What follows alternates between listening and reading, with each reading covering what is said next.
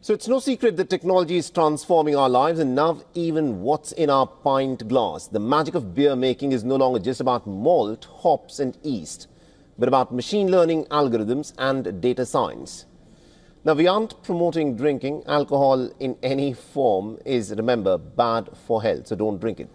Researchers say that brewers across the globe are embracing artificial intelligence to craft smarter, tastier and even more personalized beers. AI doesn't just follow rules, it learns, it picks up on subtle patterns and tweaks each batch to hit the flavor just right.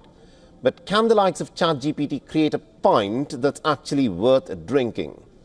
Now, Professor Kevin Verstrepen of KU Leuven University, who led the research, says that AI could help tease apart the complex relationships involved in human aroma perception. Verstrepen and his team of researchers analyzed the chemical makeup of 250 commercial Belgian beers of 22 different styles. And this includes lagers, fruit beers, blondes, West Flanders ales, and non alcoholic beers.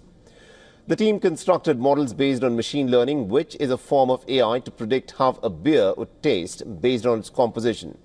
They then used the results to exchange to enhance an existing commercial beer. The results from the tasting panel revealed the additions improved ratings for both alcoholic and non-alcoholic beers. This across metrics including sweetness, body and overall appreciation. Research says that the biggest application of AI could be in changing non-alcoholic beers to make them better. From ancient tradition to artificial innovation, the beer world is getting high-tech buzz, proving that the perfect pint may just come from coding. But beer lovers need not worry about technology disrupting a rich heritage. Researchers say that the skill of brewers remains vital.